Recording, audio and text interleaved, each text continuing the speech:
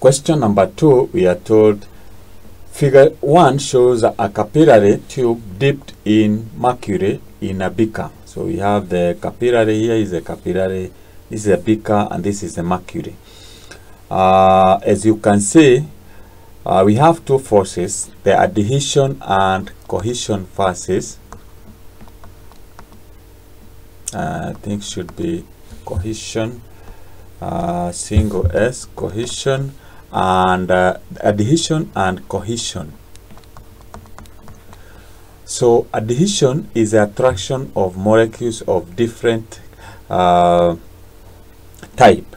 Cohesion is the attraction of molecules of the same type. So as you can see, uh, the cohesion forces of uh, mercury is greater than the adhesion force between the mercury and the capillary, which is grass. And that is why we have the capillary level is low or is lower than the normal level of the mercury. Uh, so, but this is uh, the question. State with uh, a reason the observation that would be made on the level of mercury in the capillary tube if the temperature of mercury is increased. If the temperature of, uh, when you increase the temperature, volume will go up. That is volume. Uh, and we know that uh, uh, density is equals to mass over volume.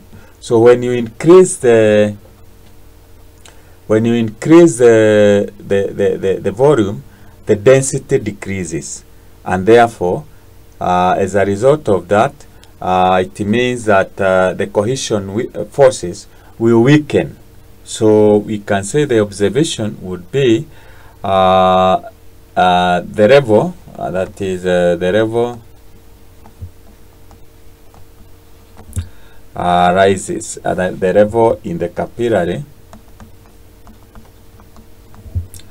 uh, okay okay not necessarily in the capillary the level rises generally uh, including the other volume because now we the the the, the, the we have increase in temperature. And this means that uh, uh, cohesion forces become weaker.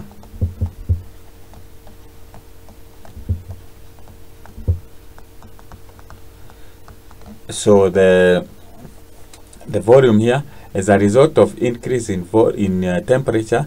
Uh, density reduces uh, and therefore we have uh, and that makes the the the cohesion force uh, weaker. And uh, this is that is the observation and the reason why that would happen